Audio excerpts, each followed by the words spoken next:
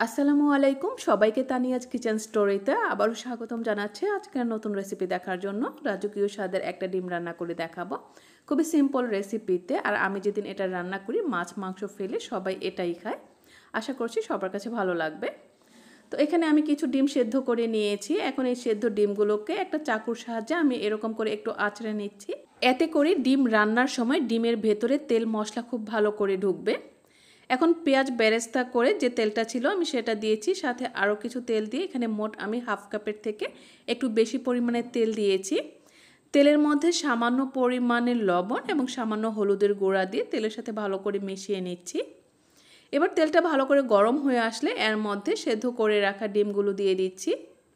আর এই ডিমগুলোকে চুলার আঁচটাকে মিডিয়ামে রেখে আমি তিন থেকে চার মিনিটের মতো ভেজে নিব। তারপর এগুলোকে আমি তেল থেকে তুলে নিব।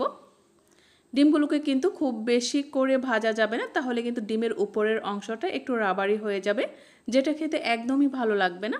ডিমগুলো তেল থেকে তুলে নিয়ে এর মধ্যে আমি চারটা এলাচ এবং দুই টুকরো দারুচিনি দিয়েছি, এখানে আমি খুব বেশি গরম মশলা ব্যবহার করব না। এখানে আমি তিনটা মাঝারি সাইজের পেঁয়াজ, তিন চারটা কাঁচা মরিচ এবং দুইটা টমেটো কিউব করে কেটে নিয়েছি, এখন সবগুলো পেস্ট করে নিয়ে আমি তেলের মধ্যে দিয়ে দিয়েছি। এখন এগুলোকে দুই থেকে তিন মিনিটের মতো তেলের মধ্যে ভেজে নিব যাতে এগুলোর কাঁচা গন্ধটা চলে যায়। এ সময় কিন্তু চুলার আঁচটাকে বাড়িয়ে আমি মিডিয়াম টু হাইতে করে দিয়েছি। দিয়ে দিচ্ছি হাফ টেবিল চামচ করে আদা বাটা এবং রসুন বাটা।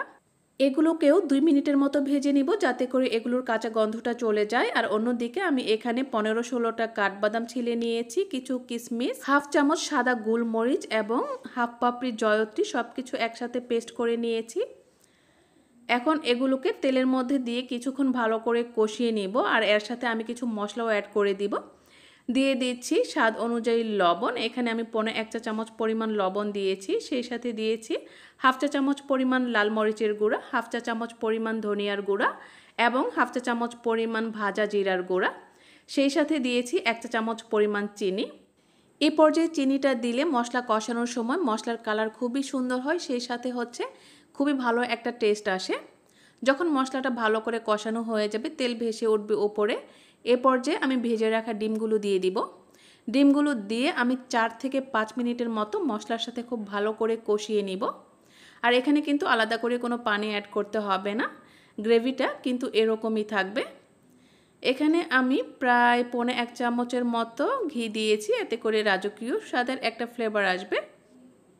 সবশেষে এখানে কিছু পেঁয়াজ বেরেস্তা ছিটিয়ে দিচ্ছি। পেঁয়াজ বেরেস্তা দেওয়ার পর এটাকে আমি দুই মিনিটের জন্য ঢেকে রান্না করব। এতে করে সব কিছুর ফ্লেভার একসাথে ভালো করে মিশিয়ে যাবে। তারপর ভালো করে নেড়ে চেড়ে আমি চুলাটা অফ করে দিব। আর আমাদের এই রাজকীয় স্বাদের ডিম রান্না কিন্তু একদমই কমপ্লিট হয়ে গেছে।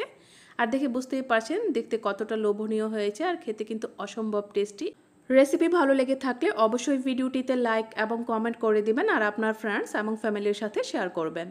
সাথে থাকার জন্য সবাইকে অনেক অনেক ধন্যবাদ। আল্লাহ হাফেজ।